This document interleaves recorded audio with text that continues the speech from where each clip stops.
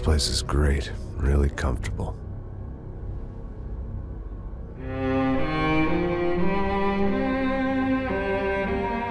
I'm just gonna get settled in.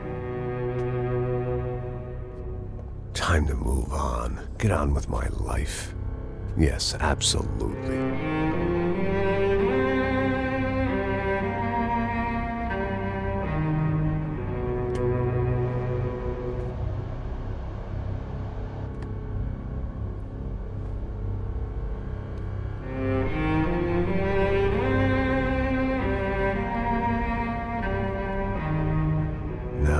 Like I said, it was a long time ago. Let it go. Seriously.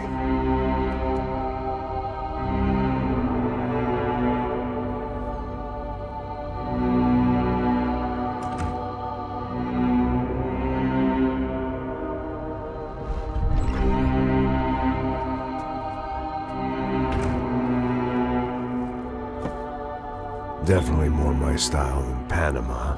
Or Hoboken, I guess. No. If I'm honest, I just got kind of bored of boozing. I mean, once in a while, but not all the time. Maybe I'd lost my self-respect, but it's back. I'm excited. Really. I really needed a new start.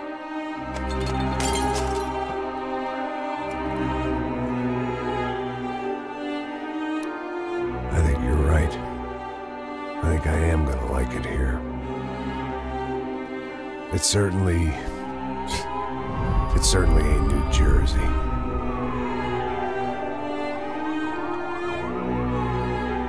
It's my new life, just like you said.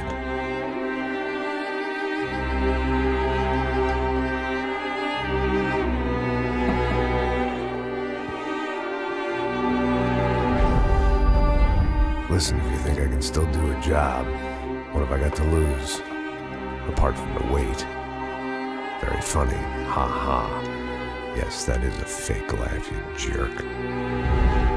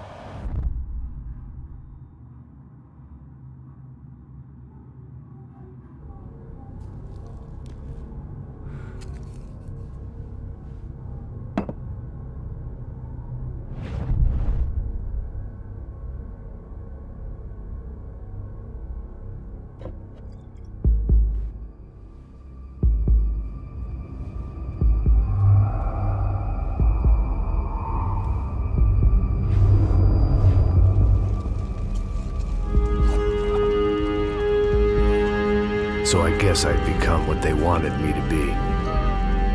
A killer. Some rent-a-clown with a gun who puts holes in other bad guys. Well, that's what they had paid for, so in the end, that's what they got. Say what you want about Americans, but we understand capitalism. You buy yourself a product and you get what you pay for. And these chumps had paid for some angry gringo without the sensibilities to know right from wrong. Here I was about to execute this poor bastard like some dime store angel of death. And I realized they were correct. I wouldn't know right from wrong if one of them was helping the poor and the other was banging my sister.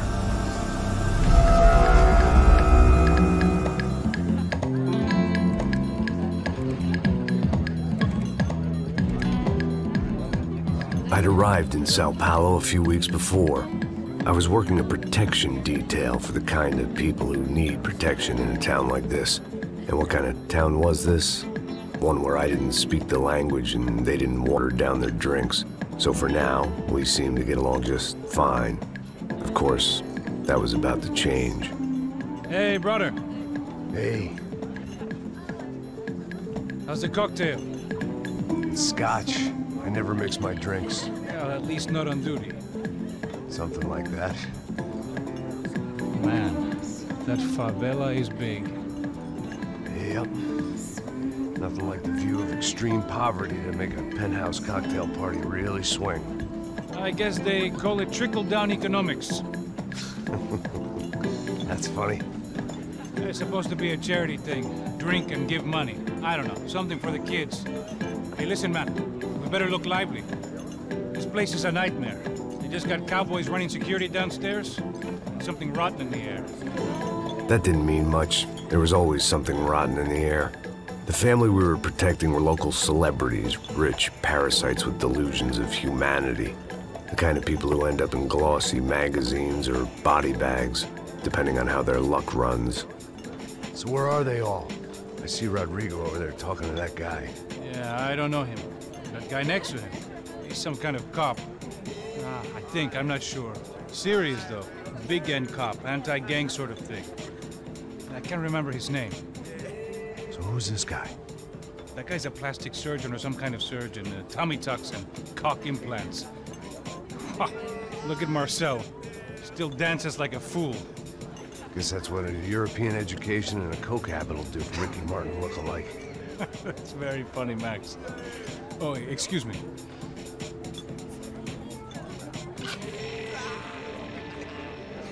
I was mostly working for Rodrigo Branco, a local businessman. Built things, did some charity, had things named after him, won awards, owned things, people. One of the trophies he had won was his wife, Fabiana. She was hot and wanted to be dangerous.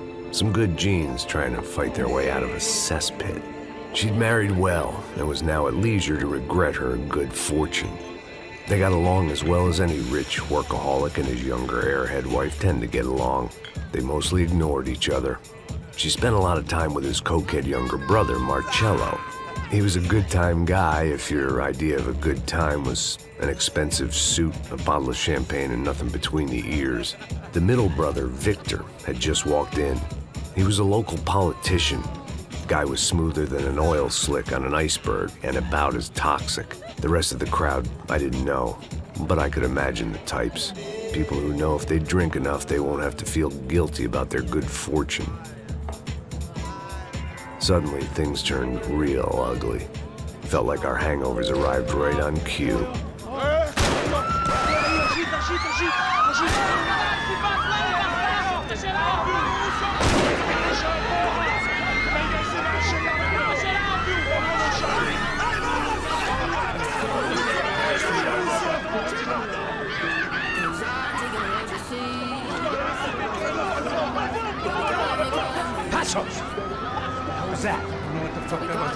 Things had gone from fine to fucked up in about a second, and now there were two idiots at the wheel.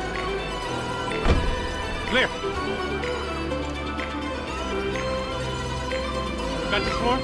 Sure. Look after yourself, Carl. Stay safe. It wasn't my own safety I was concerned about, trophy wife or not.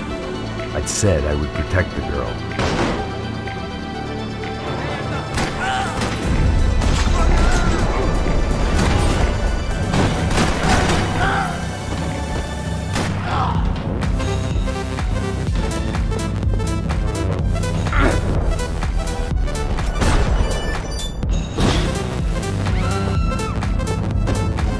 That was the boss lady. Only this time she wasn't calling for more liquor in her cocktail.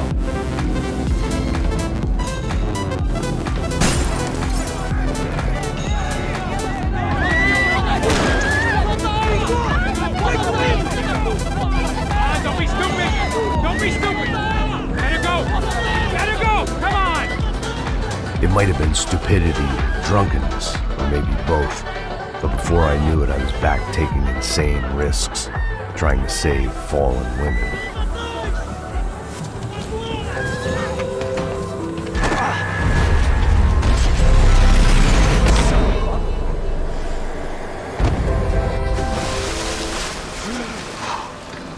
Tranquila! Tranquila! Nós cuidamos disso. Nice work! Hey, you need a hand? No, you. Who the hell's Rodrigo? I don't know, man. Thanks. Somebody's gonna go find him. Está tudo sob controle. Fica tranquilo.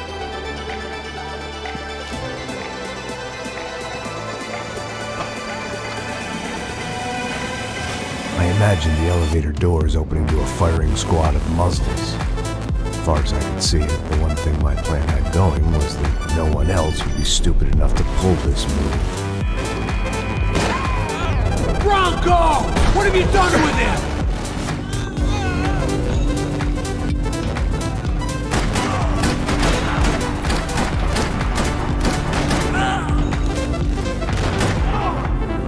I had to keep moving.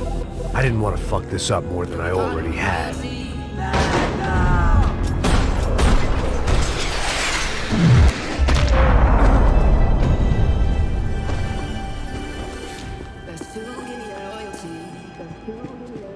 Looked like they were taking him out through the basement. Maybe I still had a shot.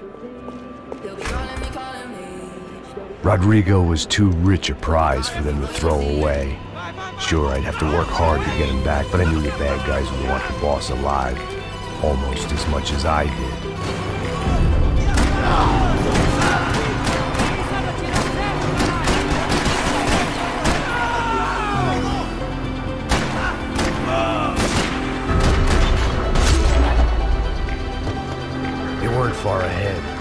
Once I opened the door, I'd actually have to come up with a plan.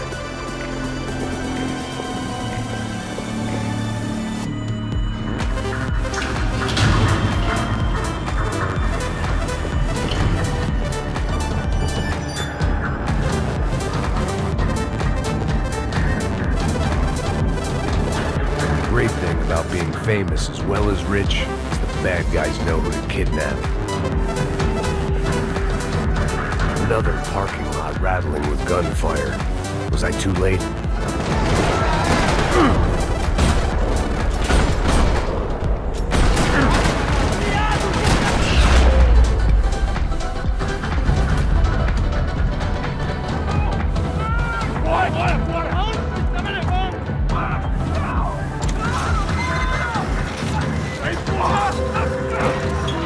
Rodrigo!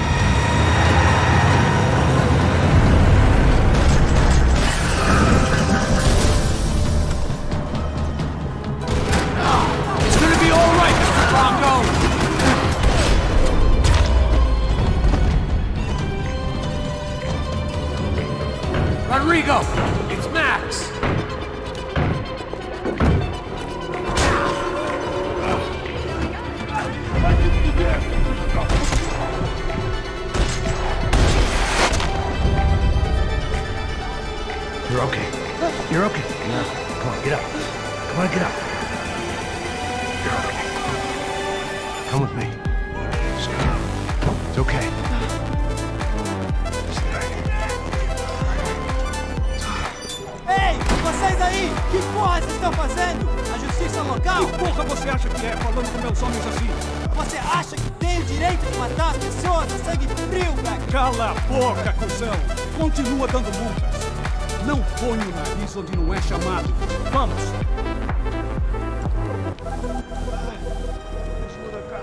Chama uma ambulância! Fuck.